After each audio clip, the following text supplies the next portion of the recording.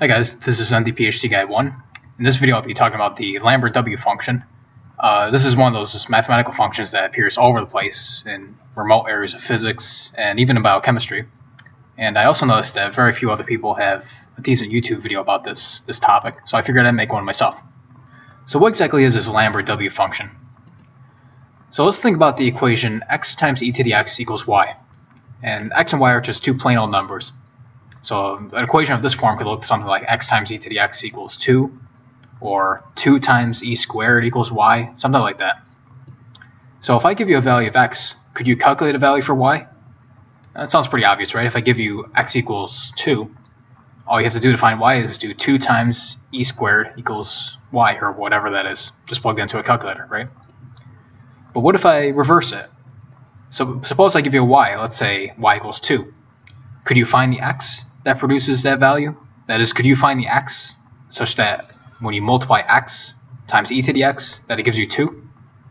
So this whole question of trying to reverse this process of finding an x from a y uh, is basically the whole motivation behind the Lambert W function. So let's abstract this process a little. So I said in the first statement that if I give you an x, could you find a y? And that, that's a pretty easy question, right? So let's say I have some x that I've just given to you. And let me call the process f the process of taking that number itself, x, and multiplying it times e to the x. So that process, f, is going to produce a y value for any given x.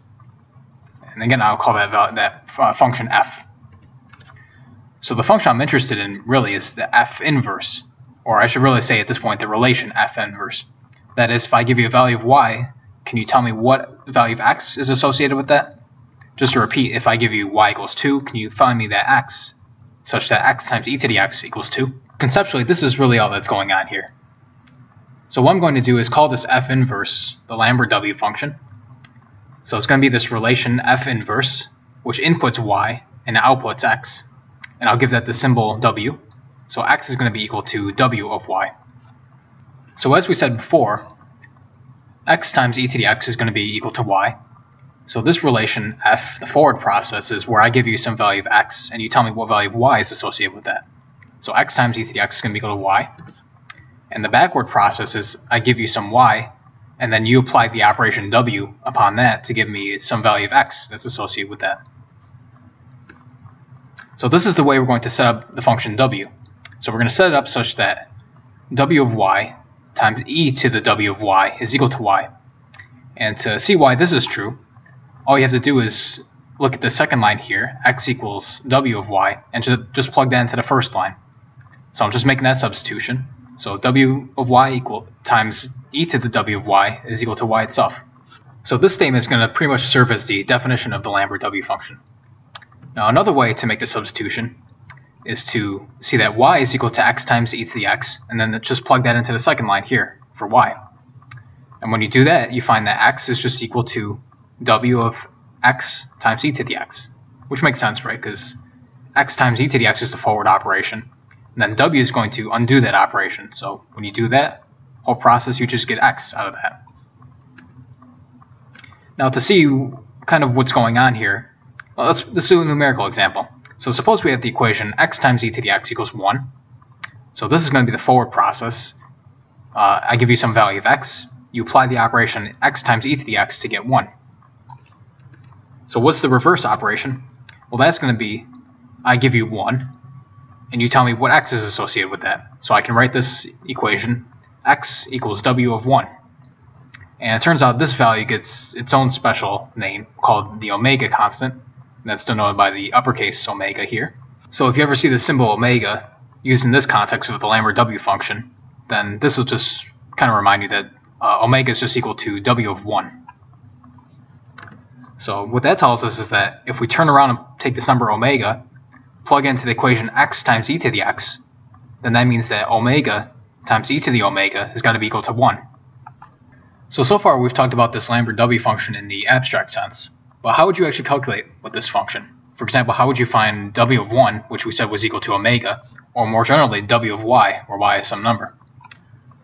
So one way to do uh, calculations with this function is to use Newton's method, which uh, I hope you know that this is a method associated with finding roots of equations. So consider that equation that we're dealing with before. x times e to the x equals 1. Now instead of interpreting it like that, let's move the 1 to the other side. So we now have x times e to the x minus 1 equals 0. So the way to find that constant omega would be just to interpret this as a function, that is, interpret x times e to the x minus 1 as a function, and then just find the root of that function.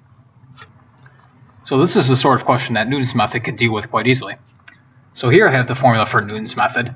Remember this is a recursive operation, so I have the, the next number is equal to the previous number minus this ratio of the function of that previous number to its derivative. And I also know that this function f that I'm dealing with, uh, the derivative is easy to calculate, right? So I have f prime is just equal to the quantity x plus 1 times e to the x. And that's just basic calculus to find that.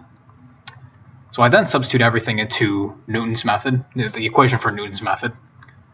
And all I did here is I plugged in, for the original function, f of x sub n, I just plug in x times e to the x minus 1 into the numerator here. And the denominator, just plug in the formula that we just obtained for f prime. So here's the formula we just set up one more time. So with this being a recursive operation, I need somewhere to start. That is, I need to guess some value for x0. So what would be a logical guess for x0? Well, I know that the, the number I'm looking for, omega, is going to be omega times e to the omega, and that, that should be equal to 1. And I also know that if I instead substitute the number 0 into the equation. So I get 0 times e to the 0. That's just going to give me 0. So that means uh, omega's got to be greater than 0 if that wasn't obvious already. If I substitute the number 1 into that equation, I just get 1 times e to the 1, which is equal to e, which is, well, you guys know what e is. So that's not equal to 1. So that means that omega has got to be between 0 and 1. So a logical guess might be, let's let x0 be equal to 1 half. So if you do that calculation, just let x0 equal 0.5, plug into the equation, and just do that recursive operation over and over again, you get this for the calculations, and this converges pretty quickly to 0.5671. And of course, this number is going to continue on and on forever, so this is the four decimal approximation to this. So omega is going to be about 0.5671. So to actually check this, let's do that operation, that x times e to the x operation. So if this is right, then 0.5671 times e to the 0.5671 should be pretty close to 1, and it turns out that it is, at least to 4 decimal places. So that's the 4 decimal place approximation to omega, and if you're hungry for more digits, uh, it's given below 0.567143290 to 10 decimal places. So we were able to calculate w of 1, which was the omega constant. But how about the more general question? How would you calculate w of y, where y is just some number? So you do a very similar process using Newton's method. So we have x times e to the x equals y. Again, move that y to the left-hand side. So we have x times e to the x minus y is equal to 0. And then just interpret this as some function. f of x equals x times e to the x minus y. And we're just going to find the root of that, just like we did before with Newton's method. So now we just apply that. So the derivative is going to be unchanged just because we had this f of x and we're just shifting up by some unit uh, y, so it's not going to change any of the slopes. So derivative is, is, the same. And then you just plug this into Newton's method, and you get the formula uh, below. So just by way of review of what we've talked about so far, so if we have an equation that looks like this, uh, x times e to the x equals 5, or just some number, x times e to the x equals some number, the way we can solve for x is just to invert this whole process of doing x times e to the x. So we can say that this value x is equal to w of 5. And then you just do that calculation somehow. In fact, MATLAB knows how to do this calculation, so this is a pretty well-known calculation for a lot of uh, programs. And it turns out this W5 is going to be equal to 1.3267. And of course, when you do the, the other operation, x times e to the x, that should give you 5, the thing you you started with.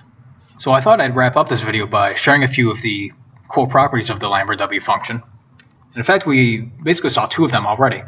The first was that x is equal to w of x times e to the x. And this just comes from that inverting property of the w function. That if you do that forward operation, x times e to the x, the way you undo it is by applying w. So when you combine those two operations, you just get what you started with, which is x. So from that very basic property of the w function, we can immediately see that this implies that when we substitute x equals 0 into that, that equation, that we get 0 is equal to w of 0 times e to the 0, which is just w of 0. So we get that property that w of 0 is just equal to 0. Now instead of substituting x equals 0, I could substitute x equals 1. And you see that on the left-hand side, I just get 1, which is then equal to w of 1 times e to the 1, which is just e. So the next property I have listed as property number 3 is that w of e is just equal to 1. And if you play around with the definition of the Lambert W function a little bit more, it's not too difficult to show that the derivative at 0 is equal to 1. And also that's it's a solution to the ODE, y prime equals y divided by x times 1 plus y. Now the last property I'll share with you guys is a uh, pretty mysterious property, at least in my opinion. Uh, if you take a number x, and if you exponentiate that with the same base x, so you do x to the x, and you take that thing, x to the x, and then exponentiate one more time with x as the base, and you keep repeating the operation, which, uh, if you're wondering, is called tetration. It's kind of the extension of exponentiation. That if you pick an x where that quantity converges, the number that it converges to is given precisely by this formula. Negative w of negative ln x divided by ln x is that number that it converges to. And like I said in the beginning of the video, uh, this is one of those functions uh, that appears in just a lot of unexpected places in math and physics. And uh, it, even has a uh, kind of a strange application to Michaelis-Menten kinetics, and it kind of forms a closed form solution that is the exact solution to the kinetics equation in that in that sense. So uh, that wraps up this video. Uh, if you liked it, give it a, give it a thumbs up. Um, if you don't, give it a thumbs down. tell me what you think of it in the comments section. Thank you.